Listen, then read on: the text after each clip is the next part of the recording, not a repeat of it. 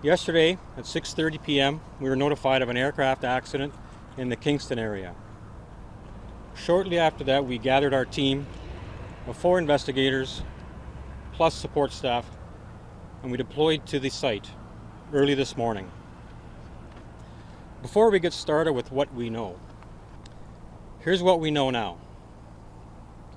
An American registered PA 32, commonly known as a Cherokee 6, departed Toronto Buttonville Airport on a visual flight rules flight. Preliminary information indicates the destination was Quebec City. There were seven people on board the aircraft. It appears that the aircraft intended to land in Kingston, as there were communications with the Kingston Flight Service Station just prior to the accident. Shortly after 5 p.m., the aircraft collided with terrain approximately 2.8 nautical miles north of Kingston on the center line for the north south runway. Unfortunately, all seven people were fatally injured. The aircraft was destroyed. There were reports of deteriorating weather en route. However, at this time, we don't know to what effect this had with the accident.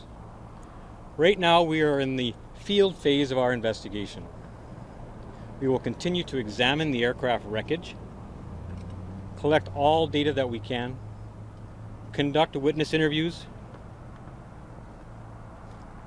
In addition, we'll examine the maintenance history of the aircraft all weather conditions pertaining to the aircraft, flight, pilot qualifications, and any, any regulatory requirements for the flight. Okay, is it six seats including the pilots?